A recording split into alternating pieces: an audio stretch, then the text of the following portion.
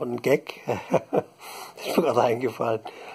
Äh, wir konnten ja schon ein bisschen Englisch als Kinder. Ne? Und der Opa Milwaukee, da haben wir äh, Hebs äh, Verwandtschaft Milwaukee.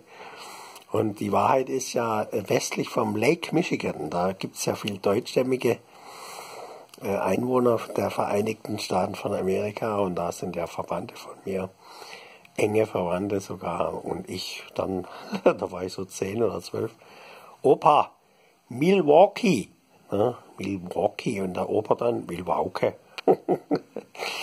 Milwaukee. Ja, den Ort sage ich mal sicherheitshalber nicht. Und dann war tatsächlich mal, das habe ich schon mal erzählt, eine Gruppe da, wo ich Führung gemacht habe beim Westmühlheizkraftwerk Böbling vor 22 Jahren oder 20 Jahren oder wann das war. Und die waren genau von dort, von University of Wisconsin, waren die University of Wisconsin. Und uh, we need a translator, so eine Translation. Also, äh, das war schon interessant. Ähm, also die, er die Erde ist klein eigentlich und doch so groß. Wertvoll, klein und groß. Aber es äh, kommt auf die Kleinheiten, Feinheiten an und äh, dass jetzt da ein schöner Tag auf mich wartet, das ist wichtig.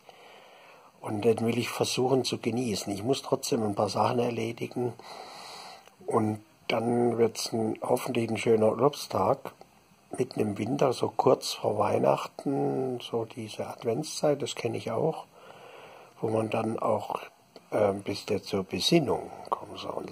Äh, und das hat sogar mal mein Landrat gesagt, Kontemplation. Er hat also in einem Weihnachtsgruß von Kontemplation gesprochen. Er ist ja, glaube ich, auch religionslos, wenn ich es richtig weiß und wohnt in einem anderen Kreis. Ne? Also keine Residenzpflicht, südlich wohnt er irgendwo.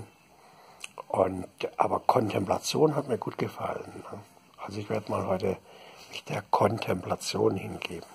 Schönen Abend noch.